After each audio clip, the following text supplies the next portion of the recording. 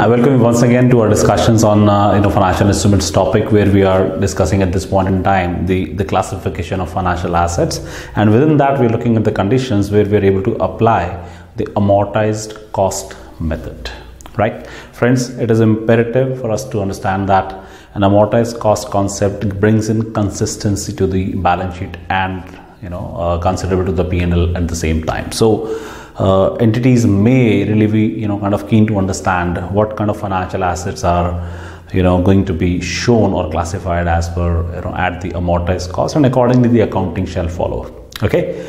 We have been discussing so far the conditions for the amortized cost model where we said that the first condition is uh, the business model test where we look at uh, recovery of contractual cash flows. And the second condition that is that is our focus at this point in time is that these contractual cash flows arising on specified dates which which represent recovery of the principal amount and interest on the principal outstanding. Okay? So our focus at this point in time is to understand what is the meaning of interest. Okay?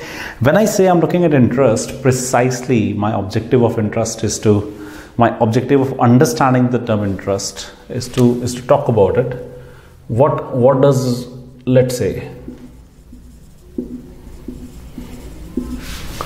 what does interest represent here? Okay so when i say that i'm talking about what is the what is the representation of interest. I'm safe, safely looking at some basic lending arrangement wherein i seek recovery of an amount in addition to the amount lent due to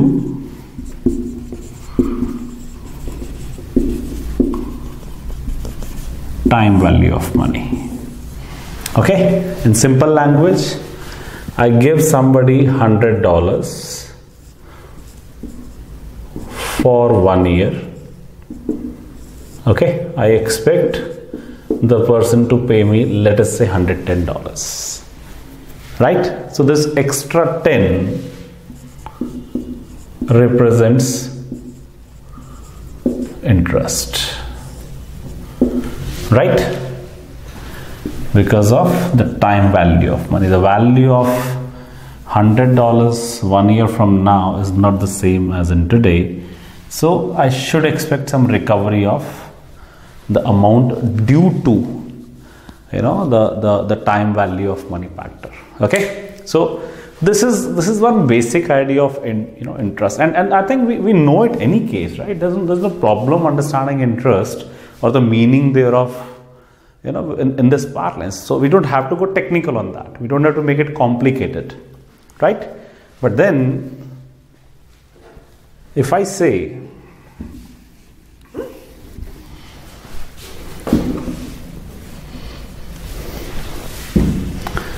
I give you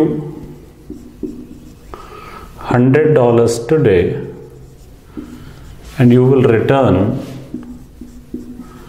hundred dollars which is the principal and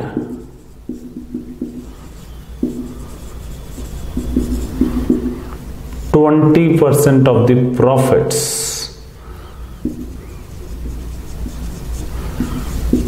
made by you okay?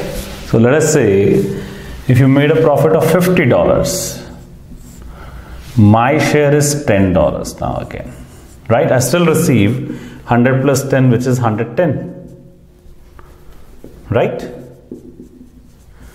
But now this 110 while it has the principal amount recovery I did not receive interest from you.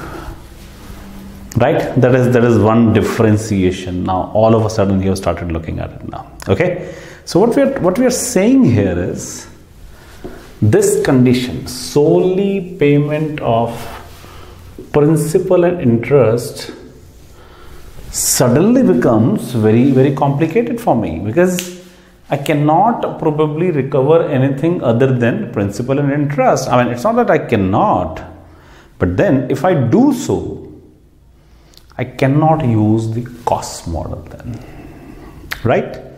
That is the implication now. So all of a sudden you start witnessing, okay, well, okay, I don't, I don't only want to recover my principal, but I also want to recover interest. So it's important for me to understand what is the meaning of interest here. And interest broadly refers to the time value of money. Okay? So if I say that, let's put it like this.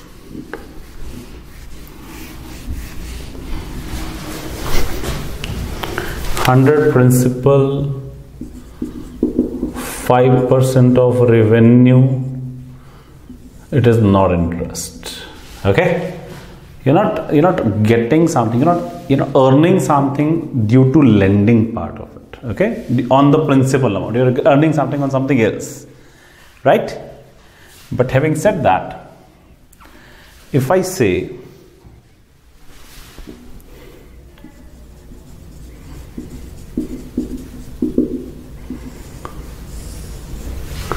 I'm going to charge you a variable interest rate. Right? So for example one of the most uh, you know uh, acceptable variable rate worldwide is the libor. All right? Uh, in some countries like india for example we also have mibor okay? Mibor we're not worried about that. I'm saying it's a variable interest rate. Right? Floating interest rate. And you are charging something over and above on this. Right? Here we are safe to assume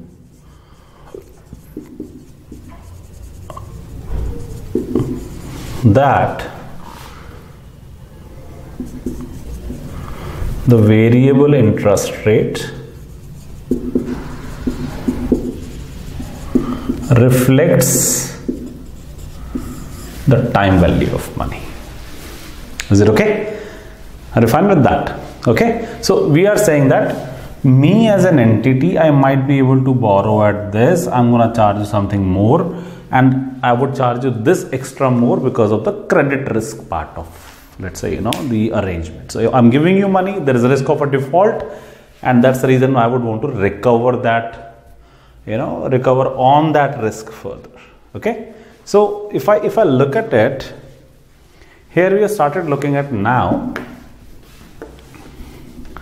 that a variable interest rate reflects recovery of money due to the time value as well. So this would be an acceptable way of looking at that whatever money is coming to me irrespective of the interest rate changing from time to time. We'll just use some numbers to obviously understand it better but that would still reflect solely the payments of principal and interest. Okay, let's let's talk about it quickly and see to it what do we connect on this. Right? So let us say that company x gives $10,000 to company y.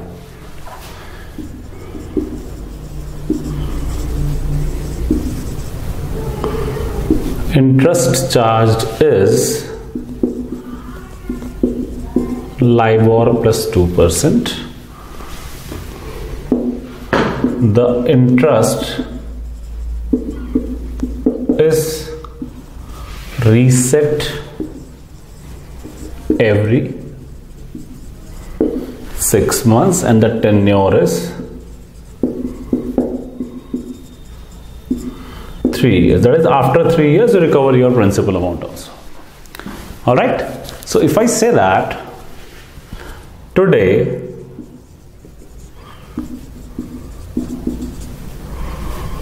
the LIBOR is let us say 4%. Six months from now, so let's let's use the dates.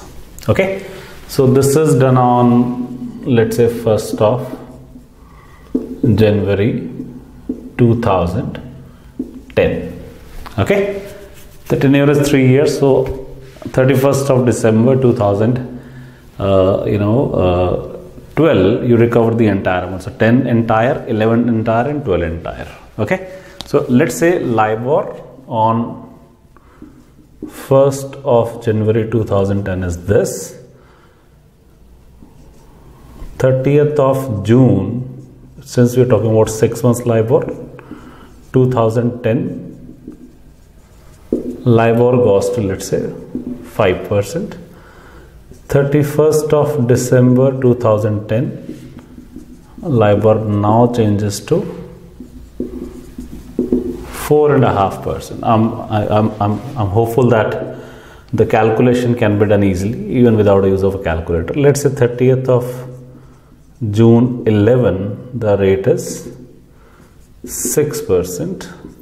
31st of December 11, the rate is 5.5%. Uh, 30th of June 12, this goes to again, let's say let's say 6.5%. Okay. Now this reflects what? That the rate that is applicable, the applicable it is L plus 2, LIBOR plus 2%, which means that this becomes 6% for one year effectively is 3% for the six months. Okay? So that is how somebody should be reading it. Likewise this is 7% for one year, which means it is 3.5% for the six months. It is 4.5%, that is 6.5% for one year, that is 3.25%. This becomes 8%, that means 4% for six months. Likewise, 7.5%, this becomes 3.75%. And finally, well, it doesn't matter because we're any case talking about the last date. This date, the money will come back but for the sake of argument it becomes 8.5 percent which is 4.25 percent for six months okay so what you have started looking at is the rates are changing. And accordingly the interest payments will change as well. Right? So while the the rates are changing this LIBOR plus the premium, the 2% extra, still reflects the time value of money in a in a more you know uh, in an other than a fixed manner. So it, it does not bring any change whatsoever. Okay? So if i say that i'm looking at this kind of an instance my accounting would be quite straightforward here. So very clearly i would say on day one first of January 10 debit investment credit bank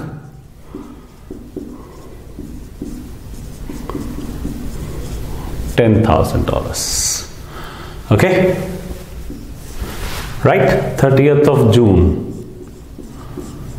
10 I will receive 3 percent.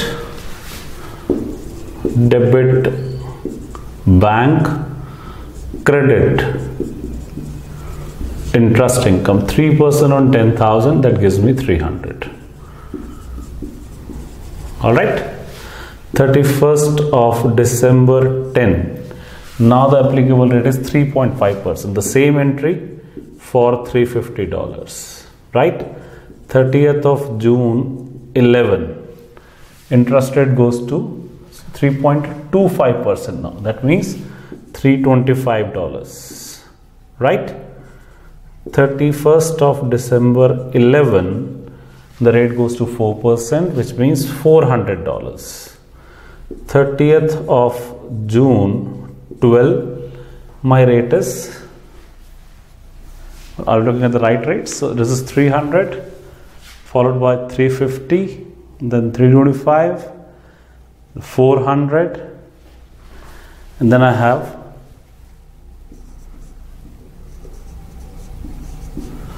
Three seventy-five. So this is one, two, three, four, five. no but yeah so this is this is of course until 30th of june now okay let, let me just clarify this is the rate of the dates on which interest rate is set for the future period. What does it mean? It means that if on 1st of january 10 the libor is 4 percent for the next six months the rate that is applicable or that is going to be applicable since the overall interest rate for one year is libor plus 2 this becomes 6% for six months it would be 3% for the future period of course. Likewise on 31st of december 12 there is an interest income of 425 and on the same date I recover my money. So debit bank 10000 and credit investment to the extent of $10,000 again. Right? Quite logical. Should not be a problem here to understand the concept of interest in this particular regard. Okay?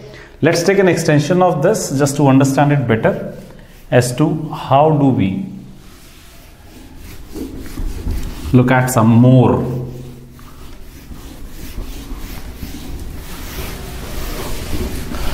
complicated scenarios. Okay? So let us say that there is a company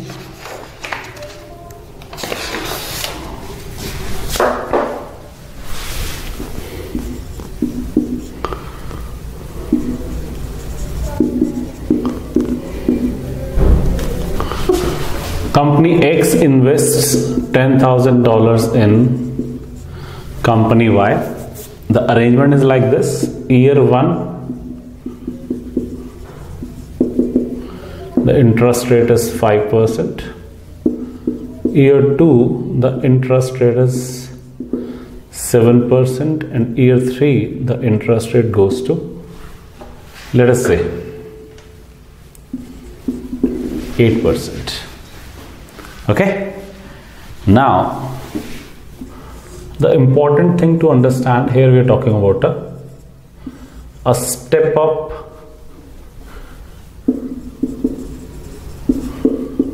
Interest payment. Okay? Now in these cases also while we obviously would want to solve this in terms of what is the you know the income that you're going to recognize in the books we are saying that briefly even if a step of interest comes in the very definition, the very intent of this definition, the contractual term. This is the term, three years you're going to pay these interest, give rise on specific dates. So at the end of each year, for example, receiving this money, solely payment of principal and interest on principal outstanding. So yes, we are not worried about the interest amount at this point in time, but whatever is being paid is is is realizing, recovering back my principal amount and interest on that principal outstanding. Right? So here if i say that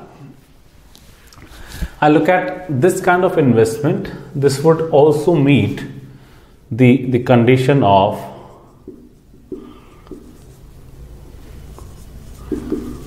solely payments of principal and